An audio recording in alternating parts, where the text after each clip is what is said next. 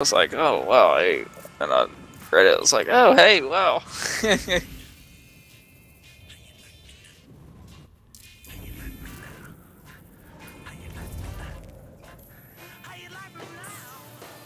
You don't want it, do you? If you want it, go ahead.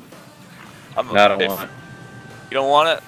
Throw that mag and the rounds for it. Picked up the Makarov, didn't you? I picked up the CZ. Oh fuck.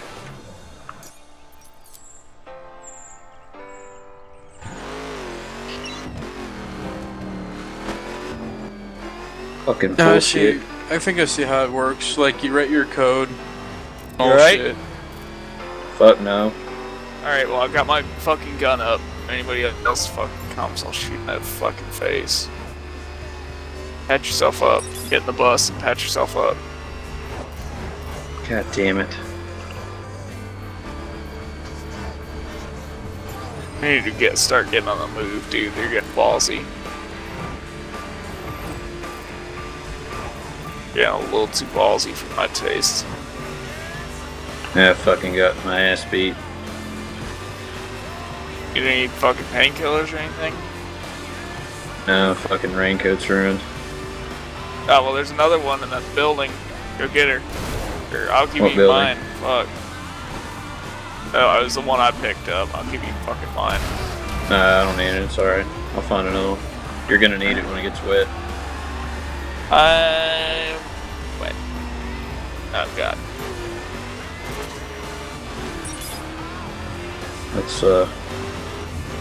Let's roll on down the line here.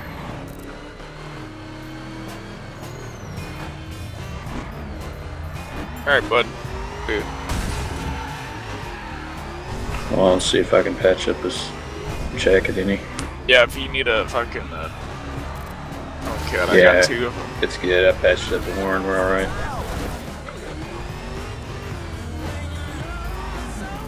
That's fucking bullshit, though, man. Fucking guys are coming out of the fucking woodwork. They heard that shotgun blast and started walking away this way. That's okay.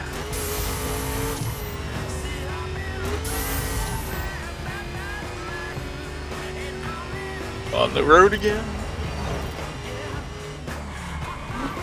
So, in theory, if I write my code in a folder and I input it into Arma 3 tools, go to the add-on builder, specify that folder and output folder, that will become the mod.